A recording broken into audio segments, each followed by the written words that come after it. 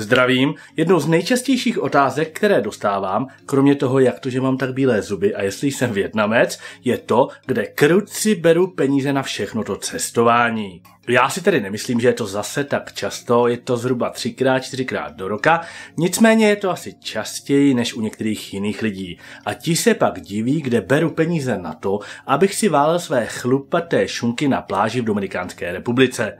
Tak abych ukončil diskuse o tom, jestli náhodou neprodávám lidské orgány na Amazonu a za získané peníze potom cestuji, tak vám vysvětlím, jak se mi daří vyrážet do zahraničí několikrát do roka. Nebude to žádný složitý návod, většina zkušených cestovatelů to zná a má to v malíčku nebo v jiné části těla, ale chtěl bych spíše pomoci těm, kteří zatím vyrazili maximálně do vedlejší vesnice na pout nebo za kámoškou. Za prvé, hledáme si letenky a ubytování sami.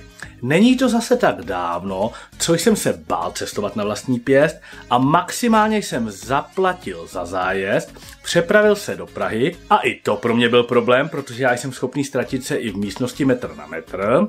Na letišti mě vyzvedla delegátka, vzala mě do náruče, přenesla mě na palubu letadla, posadila mě, přikryla mě, dala mi pusinku na čelíčko a já mohl letět. Upřímně řečeno, byl jsem hrozný strašpitel a chtěl jsem, aby za mě všechny věci zařizoval někdo jiný. Ale pak tomu osud chtěl a já jsem poznal hrozně nesympatického a nepříjemného mladíka jménem Pavel Tvrdý, který měl ale jednu pozitivní vlastnost, jenom jednu dokázal skvěle cestovat na vlastní pěst. A právě Pavel se stal vedoucím našeho zájezdu do USA, kde jsme strávili několik týdnů a já jsem pomalu, ale jistě zjistil, že cestování na vlastní pěst není tak složité, jak by se mohlo zdát. A navíc je to o dost levnější. Mluvíme tu o desítkách a desítkách procent. A na to já jako velký škrt opravdu slyším. Ono dneska, kdy se dá zařídit ubytování a letenka asi třemi kliknutími, není úplně moudré strkat tisíce a tisíce cestovním kancelářím a agenturám. Za druhé, snažím se neutrácet za ptákoviny. To mi v poslední době vůbec nevychází, protože se cítím velmi emocionálně prázdný a svoji prázdnotu zaplňuji nákupy. Ovšem, když se někam chystám na výlet, tak se pokouším omezovat.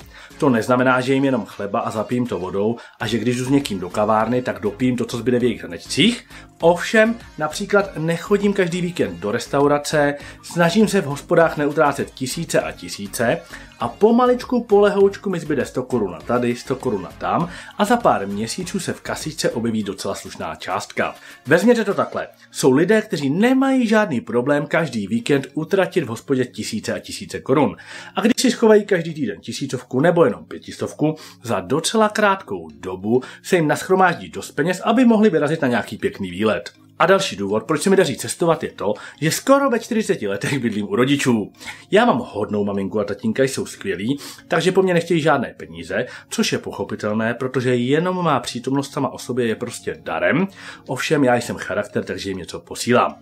Samozřejmě vás nenutím, abyste se přestěhovali zpátky k mamince, ovšem ubytování dneska není žádná sranda, takže by to možná chtělo se trošku zamyslet nad tím, kolik utrácíte za nájem, energie a podobně a možná si najít něco s nižším nájmem.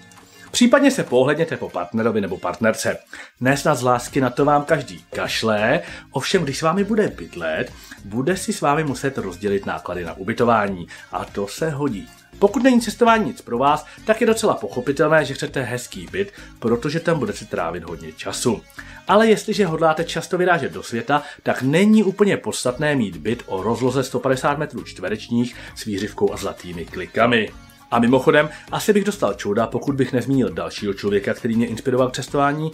Opět je nesympatický a nepříjemný, ale cestovat zvládá. Je to Honza Kábrt. A teď mi v komentářích napište, zacestujete hodně nebo se bojíte a kam byste se rádi podívali.